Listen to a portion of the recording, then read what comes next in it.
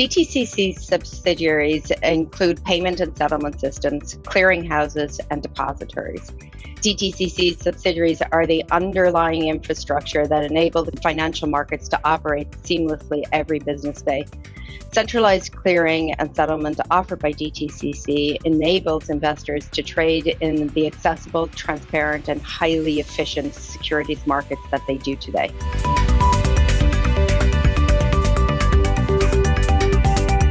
Typically, after you buy a stock, it's sent to our subsidiary, National Securities Clearing Corporation, or NSCC, for clearing and settlement. When I say clearing, that means we update the account of the trading parties and arrange for the transfer of money and securities.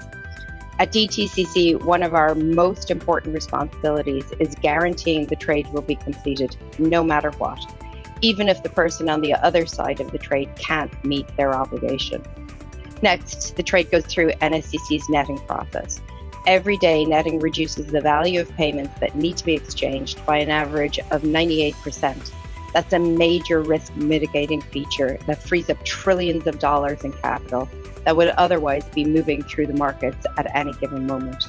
After that, the transaction goes to our depository and security settlement system, the Depository Trust Company, for settlement.